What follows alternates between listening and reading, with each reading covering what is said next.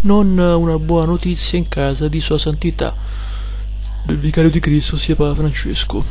Pensate infatti che Monsignor Edgar Pena Parra e il Cardinal Pietro Parolin sarebbero risultati positivi al tampone che avrebbero, diciamo così, avuto, a cui si sarebbero sottoposti. Sono entrambi vaccinati e hanno ricevuto addirittura la terza dose. Parolin avrebbe dei sintomi molto molto lievi, come ci riferisco dalla stampa del Vaticano.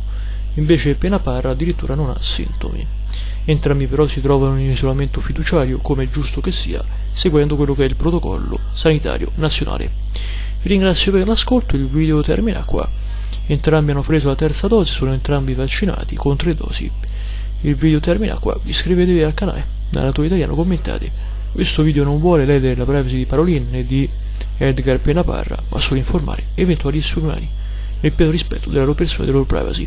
Un saluto caro italiano, narratore italiano.